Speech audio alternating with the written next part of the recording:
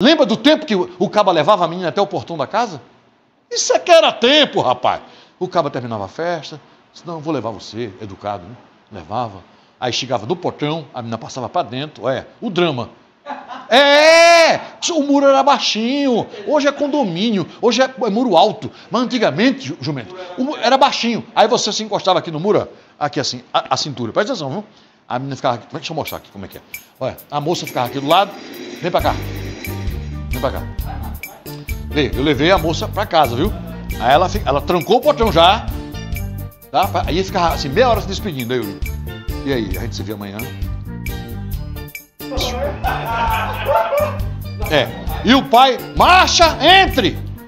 O pai, marcha! Aí, já vou, pai, diga, vá. Já vou. Pera aí, pai, vai ver, né? Aí eu.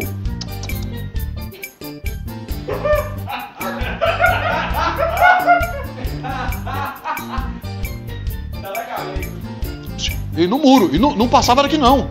E o homem não se atrevia a passar. Ele não se atrevia. Aí o pai de novo. Ô oh, marcha! A bichinha, doida para ficar, mas já estava na hora. Ela respeitava o pai. E ele se esfregando no muro, né? Sabe? Olha, já estava te tirando a tinta de mim. Sabe? Aí ele, e aí, a gente, a gente vamos pro cinema amanhã? Bora?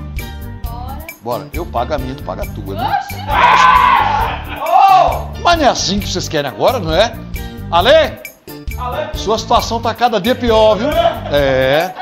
A bichinha.